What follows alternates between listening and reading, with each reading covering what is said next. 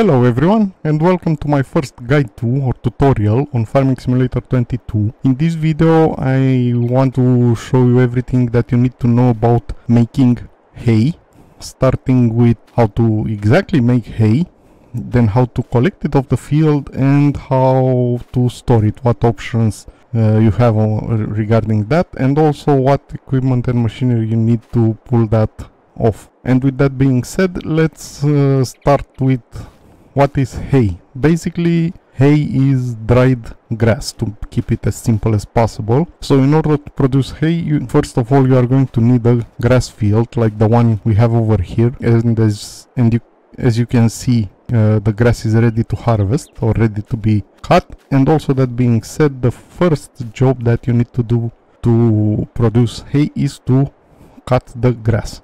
For that we are going to need some sort of mowers. And let's go to the store over here and see what options we have for mowers. Uh, if we scroll down a little bit we can see we have a mower category. And you can choose any type of mowers from this category you like uh, just keep in mind that if you choose these butterfly mowers you will also need a front mower for it Otherwise you will leave a strip of grass between the wheels of the tractor that will not be cut. Also, be, besides this, we have a self-propelled mower in this category over here. Uh, we only have two options in-game standard. Also, as a disclaimer, all the equipment in the that I'm going to show you are standard in-game that Giants put in. So for our demo today, we are going to use this Krone Big M. So yeah, let's get going. Let's get into the Krone. We have all the equipment over here. We are going to start it up.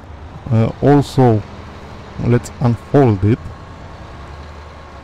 And we are going to start cutting the grass. But before we do that, let me go into the menu a little bit a little quick and put on the help window and uh, you'll understand why in just a second. Uh, for this mower in particular we have two working modes and now we have wide spreading selected. We can also move to swat dropping. If you move to swat dropping it will put the grass that you cut in swats to be able to collect it right away but we don't want that. So let's put it back to wide spreading. Let's start the mower. Put it down and let's start cutting the grass. As you can see now we have cut grass spread everywhere. I'm going to continue continue this finish the to finish the field. When you get to the end you just have to raise the mower like this.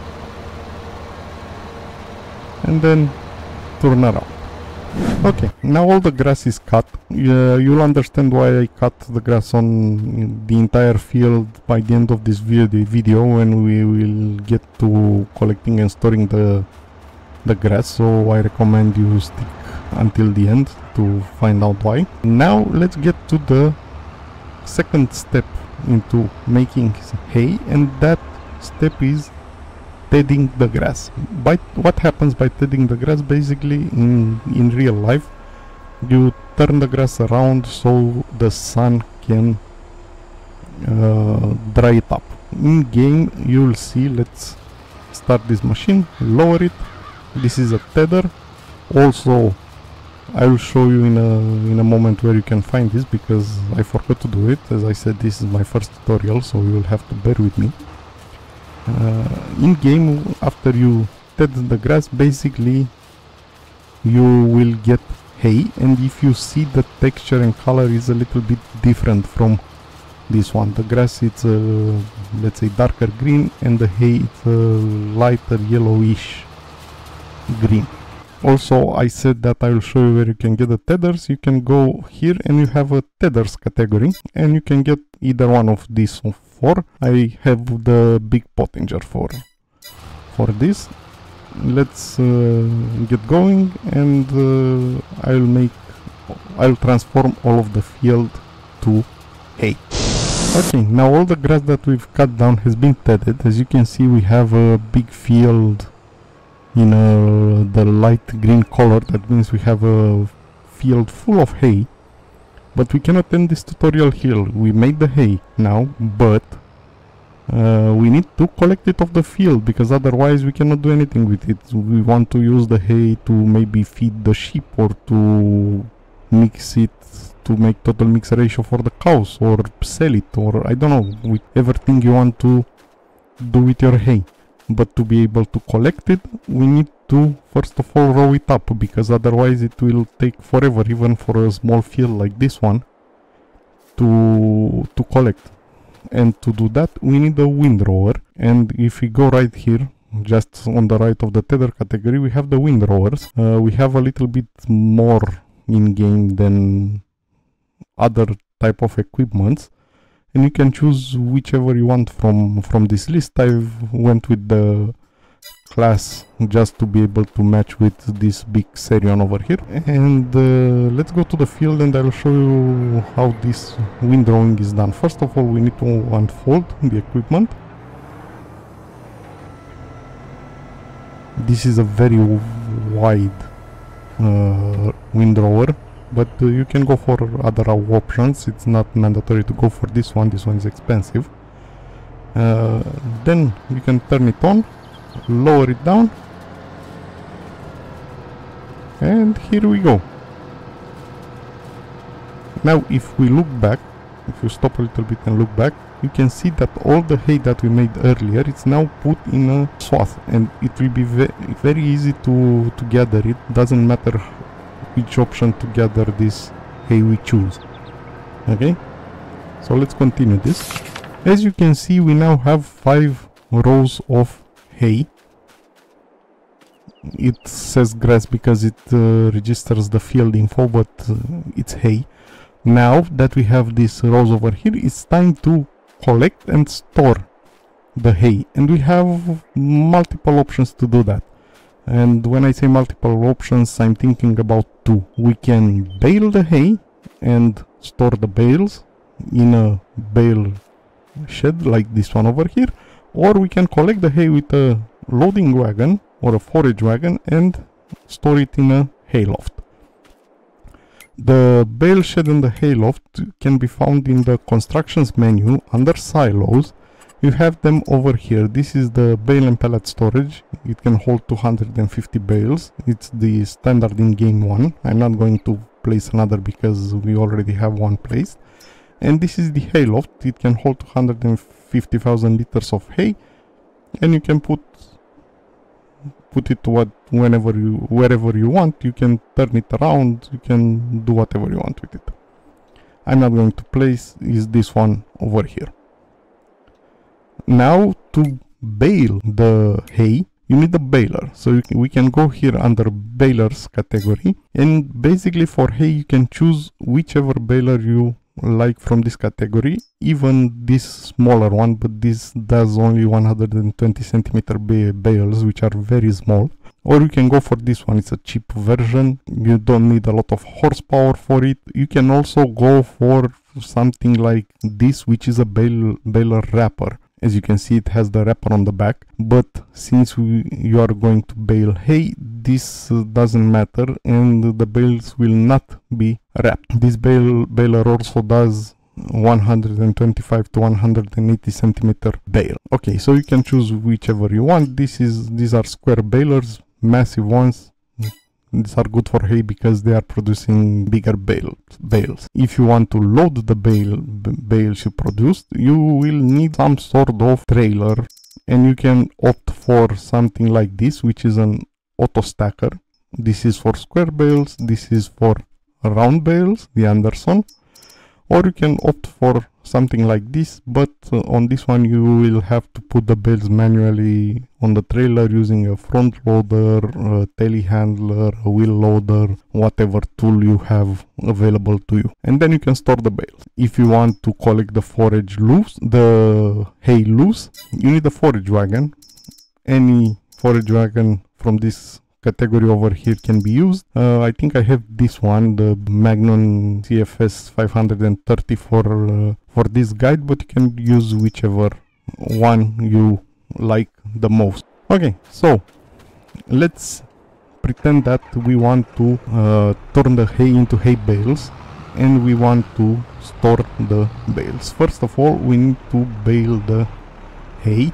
We have a baler wrapper as you can see on the back of this uh, New Holland tractor.